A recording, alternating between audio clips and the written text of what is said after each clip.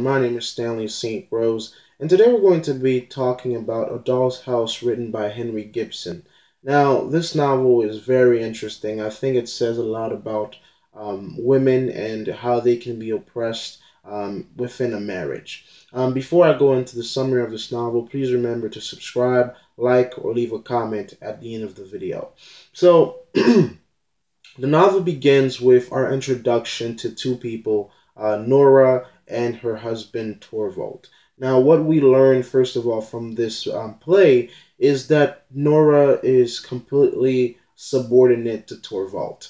And, you know, he is the provider, he's the breadwinner. Um, everything that Nora owns, Torvald is the one buying. She has to ask for money. She has to ask for everything that she has. So she doesn't have an income. She doesn't have a job. She's just um, a beautiful woman that's Torvald's wife, and basically her job is to stay beautiful and to stay his wife. Um, so, in many ways, she doesn't have an identity of her own. We learned that in the past her father died, and before her father died, um, she gets married. So she just best basically gets transferred from one man to another. So she never has the ability or, or the chance to develop a mind of her own or an independence of her own it's always been the men in her life um, directing the course of her life. So, really, the first few scenes within display, we we just understand that Nora is a doll. She she's pampered. She doesn't even take care of her own children. Um, the nurse Anne is the one taking care of the children.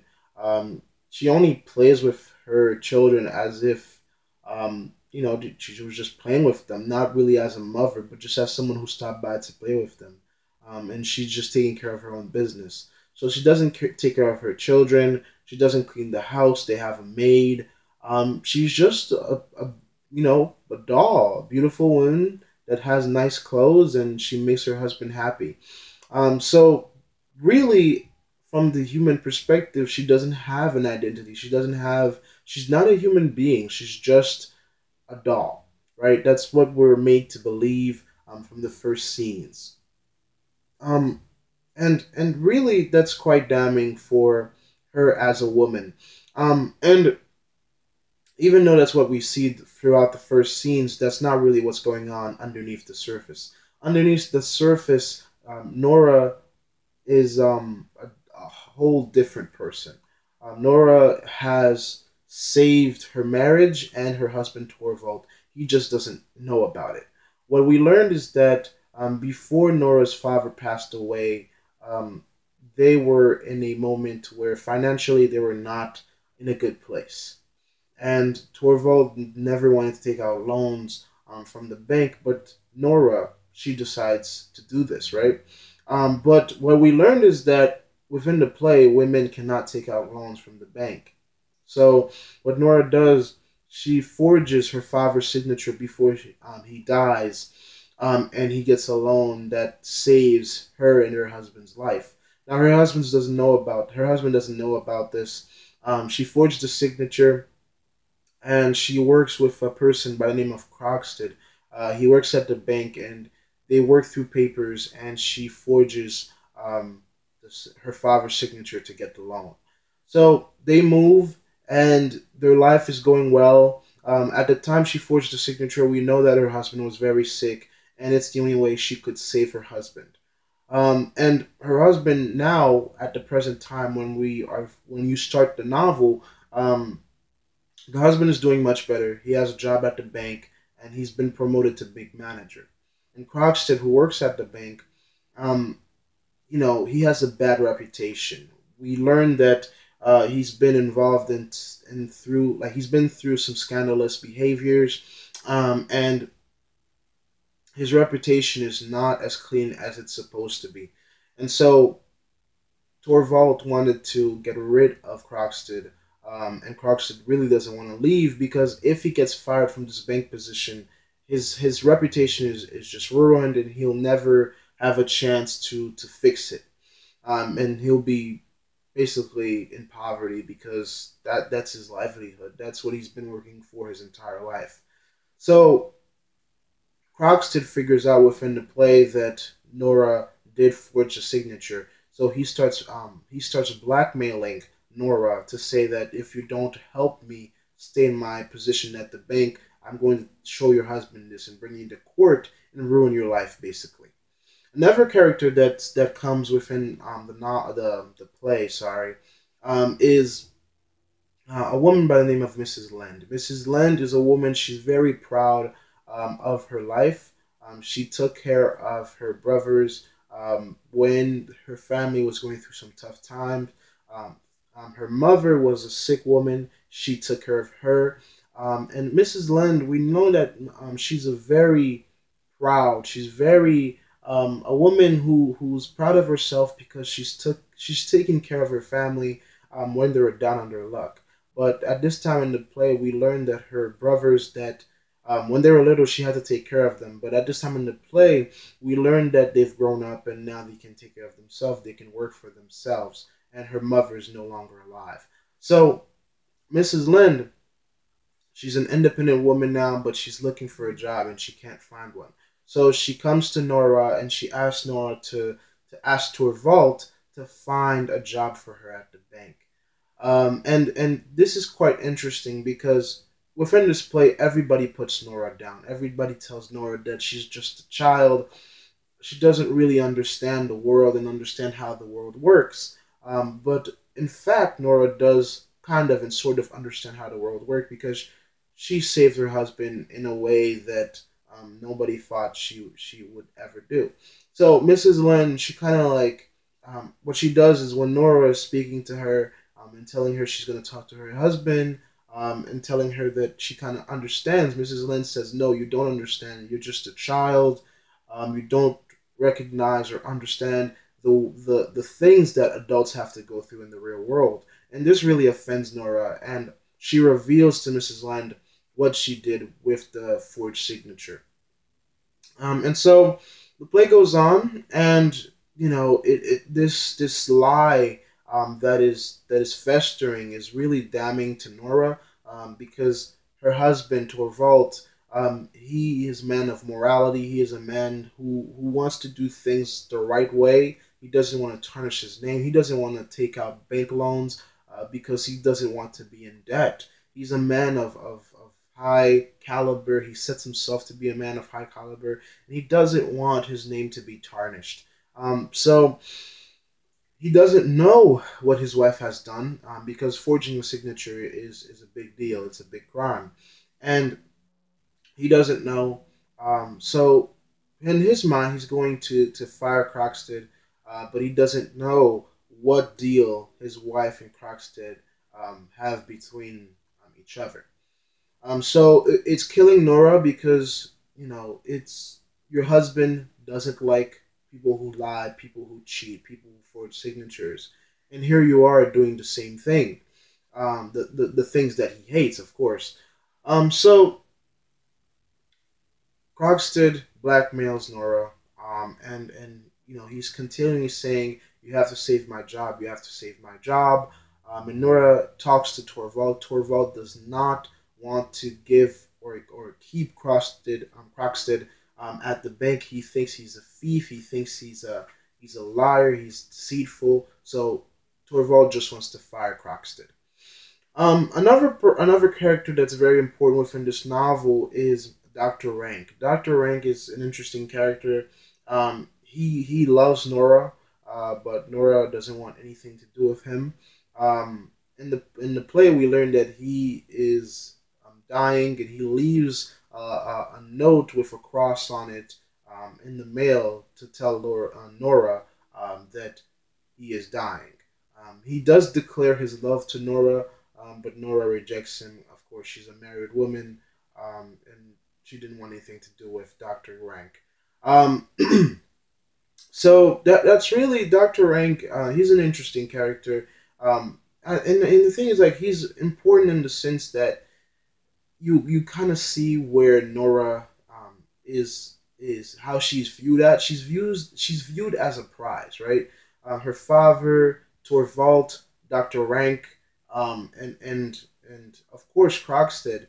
All the men in her life have used her um, to get something that they want. Um, her father saw her as, um, you know, his child, and and she pretended to like everything that he liked, um, so that he could be happy, right? So she bended for the men in her life, um, and and really many times her views, her points of views were never heard. After her father, her husband Torvald is basically the captain of her life. Everything that she does, he's in charge of. You know, he he decides um, where they're going to go for for an evening out. Um, he gives her money for how she should dress and how she should look and how she should behave. Um, everything that she does is managed by the men in her life. Um, Dr. Rank, you know, again, with Dr. Rank, she's seen as a, a prize, as a trophy. Um, none of these men see her as human beings, and that's what's quite sad um, because she doesn't have a voice of her own. None of these men know her true opinions about the world, about, um, you know, in, in um, many ways, what we see in, in this play is Torvald basically denouncing Nora because she's a woman, right? Um, because she's a woman, Torvald, you know, he says she doesn't understand anything, she doesn't know anything, um, and, and she can't be trusted to take on real tasks because she's a woman. So it's very oppressing. It's very um, it's very sad the way that the men in this uh, play or the men of the past they saw women as they're either trophies or housewives or um, something to put on your arm rather than a human being. And Nora slowly figures out this because Krogstad is blackmailing her so that he can get power. Um, Torvald has her on her arm because she's a beauty, and you know she can. He can have. Can have. He can have a woman in her arm to to show around to other people that he has this beautiful life and wonderful life. Um, at the end of the play, he even says um, he says this line that um, he's going to keep her around um, for appearances. What does that mean, right?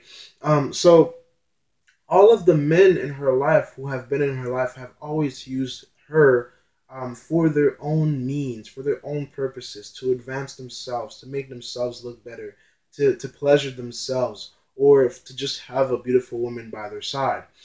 Um, they never um, acknowledged her as a human being that could think, that could have thoughts, and that could make rational decisions. Um, so that says a lot about um, the human condition and, and just basically humans in general and how we used to, to basically oppress half of our, or at this point, even more, uh, you know, the, the, the more of our entire race, right? Because um, we have more women on this planet than men. So um, it's quite sad how this this takes place. Now, continuing the novel, uh, the play, what we see is um, we see Krogstad. Um, he gets a little impatient. Um, he gets the letter that he's been fired and that Torvald has fired him from the bank. And and you know he at first he was going to go to um, court um, and and present this forged document and show that Nora and both her her and her husband are are deceivers and that they're not who they say that they are. And Mrs. Lind, Nora sends Mrs. Lind um, to speak to Krogstad. what we learned is that Krogstad and, and Mrs. Lind have a past together. Uh, they wanted to be in a relationship, but they um, they couldn't because Krogstad um, didn't have the necessary funds to support a family. Uh, so Mrs. Lind, um, she got with another man who was financially set, um, so that of course she could take care of her family, her mom, and her young brothers. But she points out to Krogstad at this point that they're both single and you know that they can finally be together. Um, she does tell Krogstad um, to allow um, the letter that he sent to Torvald. He says, "Let them see the letter. Let Torvald read the letter." So the the the nasty um, existence of this lie that exists between Torvald and his wife can be revealed and they can move on past this. Um, so Torvald reads the letter, and the night that he reads it, um, he's really mad. He says to Nora, Nora at this point, she is, she's very just, she's unnerved. She's not happy. She's just, she's just in a place that's just not healthy because she she's realized what she's done. She's realized that she's broken the law. She knows that her husband's not gonna be happy with her. Um, she knows that she can lose her family. She can go possibly to, to jail or prison. Uh, she knows that her kids, she might have to leave her kids. There's a lot of things that it's it's basically the um, demolition of their their family that could um, be taken here. Um, and Torvalds read the letter. He's enraged. At first, um, he, he he says they're gonna deal with it. They're gonna find a way um, to to deal with this. Um, but then, right before anything happens, another letter shows up, and um, Krogstad sends the the another letter saying that he's forgiven Nora uh, and that he's not gonna go to court. And Torvald's really happy at this point. He takes both letters. He takes the the the you know all the evidence. He throws into the fire, and he just all of his anger is gone. He says to Nora, "I'm happy now. Uh, you don't have to be. I'm not mad at you anymore. Uh, we can go back to what we what we were, right?" And um, it it this is what's really interesting within the novel. This is where Nora kind of like she she just changes, right? Um, she used to be this submissive woman that listened to everything that her husband had to say, but this is where she changes. Um, she realizes that she is just a toy, right? She is just a, a doll in in Torvald's life, right? A, a toy that is used for a purpose. You know, she's been used to make kids for Torvald. She's been used as a prize, as a woman have on his arm. He even mentions, Torvald even mentions, um, there's a night within this play where they come from a dance, and Torvald says, you know, I, I let her dance, um, but I didn't let her dance too much, so she didn't ruin our reputation. So to Torvald, everything is about reputation, reputation, reputation. Um, what Nora recognizes that Torvald doesn't really um, love her. He loves the idea of being with her, right? He loves the the prestige that being with a woman um, brings to him. Um, and or Nora says, "I'm going to leave you," um, because what's sad is when Torvald was was you know outraged over what Nora had done with the forged signature you know, he said some nasty things. He said, "You're not fit to raise children. You're not fit um, to be um, to be my wife, basically." Um, and he said that you can stay in this house, but only for appearances. I don't want you to stay in this house um, to raise my children because you're a nasty woman. And Nora, that really hurts Nora because she took a lot of risks when he was sick to save Torvald right? She did a lot of things to save this marriage and to because she really loved Torvald, but Torvald just saw her as a as an object, as a toy, as a doll, right? This this thing that he can parade around to show to society that he's made it, that he is um, the man of the hour, right? And um, the play ends with with Nora denouncing um, motherhood, denouncing uh, herself being a wife, being this um, subordinate being, being this um, submissive woman, right? And she said she's going to educate herself. She says that she's going to figure out the world by herself, and she is not going to let a man um, tell her who she is and how to think and how to behave. And, and this is quite interesting um, because this really breaks Nora from being this this doll, right? This this at first from the beginning of the novel to this point, she was just um, this thing on the mantelpiece. Um, and now she's saying she's not a doll anymore. She's saying she's not going to be this trophy anymore, that she's going to be an actual human being. And that's pretty significant um, because she has always been a human being. It's Torvald and all of the other men in her life that's never seen that she's an actual person. Um, because she has an she has ideas too. Torvald knows nothing about Nora, even though they've been married for eight years. He doesn't know no, anything about her. He doesn't know who she is, what her thoughts are, what she likes and what she doesn't like, because she's always been doing what he wants, what he likes. So for these eight years, they've been living together. Nora knows um, him, but he doesn't know her. Um, so it's it's really sad that he thinks that he's in a successful marriage, but in her mind, they've been broken for for a while. Um, so that's really the play. I think it says a lot about women um, and, and where they've come from um, throughout time and how they've been um, subordinate um, to the opposite sex. Um, so it's really interesting on how this play runs out uh, because there's no happy ending. It's it's much.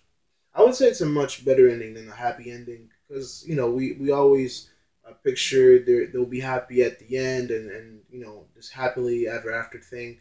Uh, but no, Nora wants to figure out the world for her own and through her own eyes, not through the eyes of men.